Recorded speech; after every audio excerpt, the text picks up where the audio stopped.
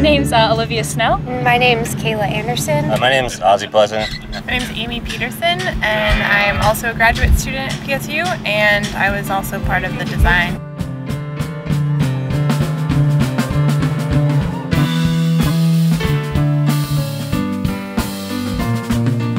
The emphasis of the studio is to like, it's called the diversion studio, so it's basically taking a material or the truss, for example, and taking it out of its intended like final destination and kind of using it here for the week.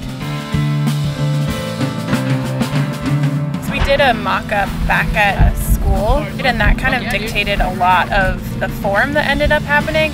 The truss comes from a sleeping pod that SRG Partnership, um, an architecture firm in Portland, designed and um, it's uh, going to end up being um, a sleeping pod for a homeless person in Clackamas County.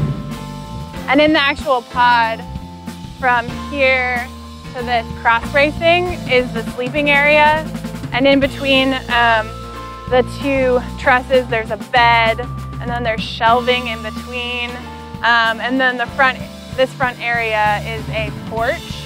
Um, and during the festival, we'll actually have some uh, boards up explaining what's going on, what's happening with the actual trusses and where they're ending up.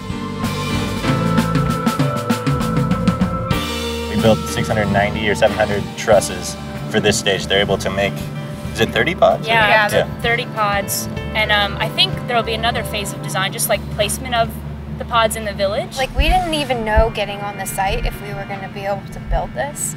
Yeah. It was troubleshooting the entire way.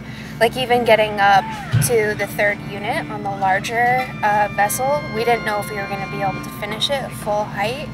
And so it's pretty amazing to actually walk in and see it built. Yeah. And be complete and match the early like model that we had made back at school right. where yeah. it was like a fraction of the scale